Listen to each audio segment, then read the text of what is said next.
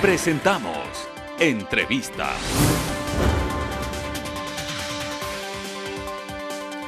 Amigos televidentes, a esta hora saludamos al ingeniero Osvaldo Landazuri, analista económico, con quien dialogaremos en los siguientes minutos.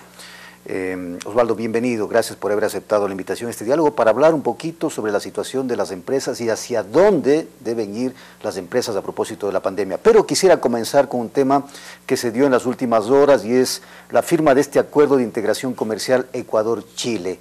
Eh, hay quienes dicen que este es un paso, eh, un paso previo para que Ecuador se integre a la denominada Alianza del Pacífico, que ha sido ponderada por unos y cuestionada por otros aquí en el Ecuador. Bienvenido, Osvaldo. Buenos días.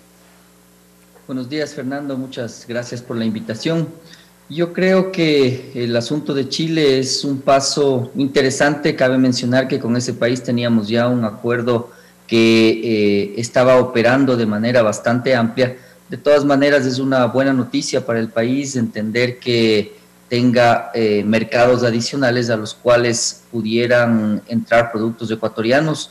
Yo creo que la Alianza del Pacífico es un paso interesante, pero siempre y cuando se considere como un camino más hacia una estrategia de fondo, que es la estrategia de competitividad ecuatoriana. Es decir, nosotros hemos visto cómo, pese a que los acuerdos comerciales se pudieran firmar con otros países, las empresas ecuatorianas están plagadas de impuestos, están plagadas eh, de una serie de trámites que le hacen poco competitiva.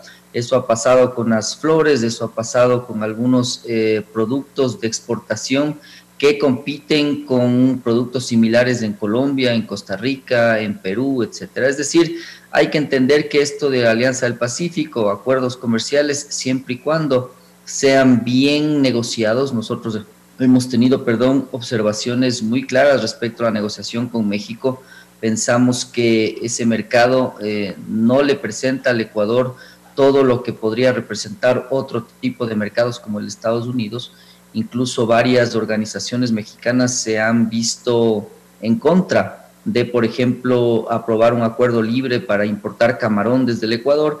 Es decir, todas estas particularidades tienen que valorarse para entender si es que una relación comercial le beneficia o no a un país. Es decir, lo que yo creo es que, Fernando, no hay que pensar los acuerdos comerciales son el fin último, es decir, son un camino para lograr desarrollo, pero siempre y cuando usted haga los arreglos internos que le permitan aprovechar estas herramientas mientras eh, comerciales. Mientras tanto, Osvaldo, ¿qué está sucediendo o qué debe suceder o hacia dónde deben ir las empresas ecuatorianas? Eh, usted en una publicación previa ha manifestado que las empresas tienen que reconfigurarse sobre la marcha y ser ágiles en sus procesos. Usted habla también de la diversificación eh, de las empresas. Eh, en ese sentido, ¿hacia dónde deben ir las empresas a propósito de la pandemia y del golpe que ocasionó esta situación? Ahora, una vez que hemos visto el entorno macro respecto a los acuerdos comerciales que usted me consultaba, el entorno micro le presenta desafíos bastante complejos al empresario ecuatoriano. Es decir, indudablemente esta pandemia lo que hace es acelerar un proceso de desgaste de la economía que venía ya desde hace varios años atrás y por lo tanto ahora se desnudan esas fragilidades. ¿Qué hacer en ese caso?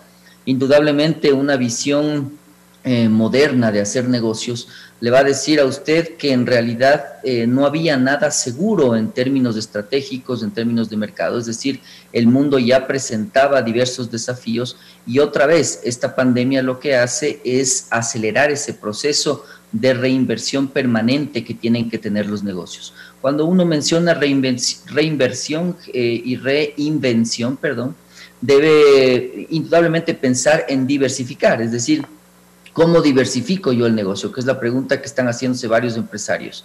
Si es que usted diversifica pensando en que un negocio es atractivo y por lo tanto me interesa ir a esa actividad por sí misma, probablemente es un error.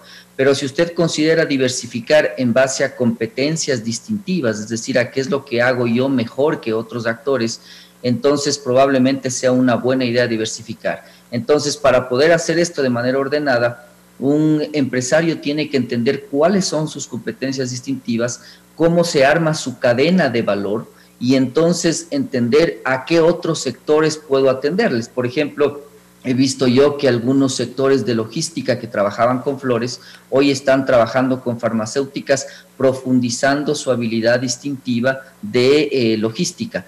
Un restaurante que tiene una habilidad distintiva respecto a un tipo de comida, pero carece de una habilidad distintiva respecto a las entregas a domicilio, probablemente va a tener que profundizar en la cadena de valor el aspecto logístico. Entonces, Fernando, en resumen, lo que sucede es que es un ejercicio de, eh, interno de análisis estratégico para saber hacia dónde va la actividad en la que yo estoy. Y todas las empresas o la mayoría de las empresas, o más bien todas las áreas empresariales, pueden acogerse o someterse a esta diversificación que usted propone? Mm, eh, a ver, en teoría sí, no es un asunto sencillo, es decir, se suelen cometer errores eh, característicos como que, por ejemplo, siempre alguien va a tener que comprar comida y entonces yo, que soy una empresa metalmecánica, diversifico y me meto en el negocio de la comida. Eso no tiene sentido porque yo no, no tengo una habilidad distintiva para esa actividad. Pero, por ejemplo, si es que usted es una empresa que eh, tiene una habilidad distintiva respecto a la investigación, al desarrollo, como ha sucedido en el caso la, de la empresa en la que yo estoy laborando, trabajando y la represento, entonces probablemente se abran otros campos de acción frente a esa habilidad de poder eh, desarrollar nuevos productos, desarrollar nuevas técnicas. Lo que sí es cierto, Fernando, es que aquí es fundamental entender una lectura adecuada del entorno, es decir, qué es lo que está pasando con los consumidores ecuatorianos. Y realmente lo que nosotros estamos viendo es que el entorno cambió, es un entorno diferente. El consumidor ecuatoriano es un consumidor que ha perdido empleo, que está buscando eh, mejores precios, que prefiere no endeudarse frente a lo que era el pasado. Y entonces esa lectura del entorno nos ha permitido, en nuestro caso, por ejemplo, entregar productos en una eh, posición distinta a la que hacíamos antes. es decir, por ejemplo, priorizando precios y no... Yo quise, yo, quise tocar el tema específico de la empresa que usted gerencia, que es una empresa metalmecánica.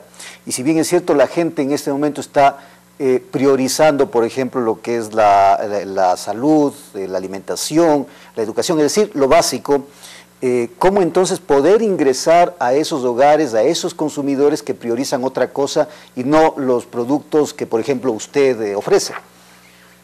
Es un ejemplo interesante. En el caso nuestro, nosotros producíamos más bien productos intermedios para clientes y tuvimos que migrar hacia producir productos finales, hacia tener eh, atención directa a los clientes con tiendas, es decir, una, una, migración bastante interesante respecto al negocio.